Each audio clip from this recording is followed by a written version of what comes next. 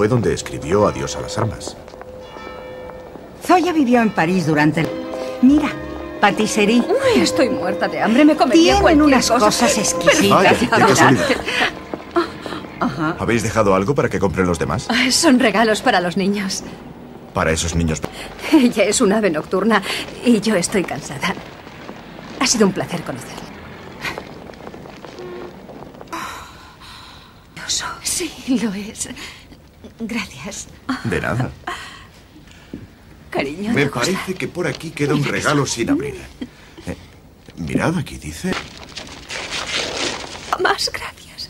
Gracias. No seas impaciente. Me muero de curiosidad. ¿Qué es lo que pasa? Verás, sabemos lo mucho que te está costando decidir un nombre para la tienda. Y a Simon se le ha ocurrido una idea. ¿Lista? ¿Estás lista? Sí, ¡Adelante! se os ha ocurrido a vosotros. Culpables. ¿Te gusta? No. ¿Qué pasa? ¡Taxi! ¡Taxi! ¡Taxi! Dátelo bien. No es nada.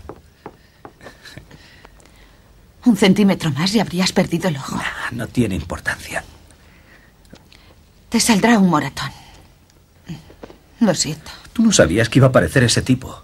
¿Él? Es un poco bruto, ¿verdad? Oh. Pero yo le parecía maravilloso. No te lo quise. Perdona.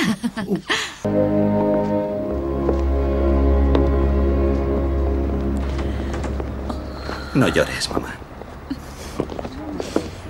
Cuídate mucho. Pórtate bien. Sí, vaya por ahí. Papá te quiere mucho, Matthew. Por ahí. No lo olvides. Ven aquí. Dame un fuerte abrazo. Papá, Oh, papá, papá, te quiero. papá, Cocoche. mamá. Zoya. No te preocupes. Ya sabes que has sido mi primer y único amor. El hijo y el marido de mi madre estuvieron en el ejército al mismo tiempo. Ahora es diferente, Zoya. Tu hijo y tu marido volverán de esta guerra. ¿Alguna vez he roto una promesa?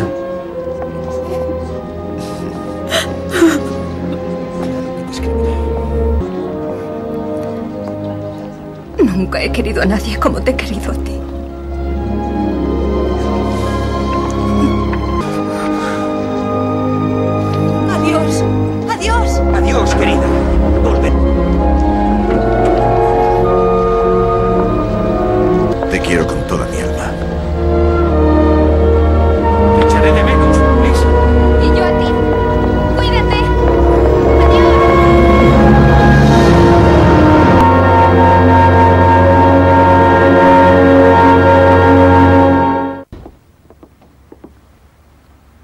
Creía que estabas en tu cuarto durmiendo.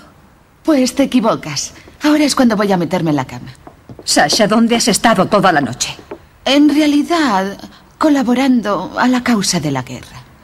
Dando apoyo a nuestras tropas. Quiero dar las gracias a todos los empleados de Contaba yo al escondite. Dios mío, qué extraño debe parecerte todo ahora. A veces. Nunca pensé que mi vida pudiera llegar a ser distinta a esto. Pero soñabas con ser bailarina, te habrías marchado de casa. Si me hubieran dado la opción, tal vez. Sí. Eso es lo que habría hecho. Ven. Primero te voy a enseñar el Hermitage. Y luego la casa en que nací. ¿Vivías aquí? Ahora es un museo.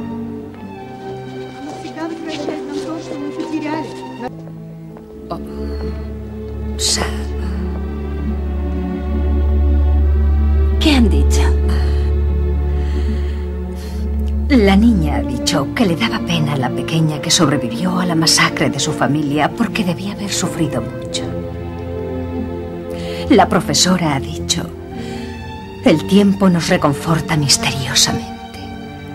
Siempre nos devuelve lo que hemos perdido a través de los recuerdos y la sabiduría.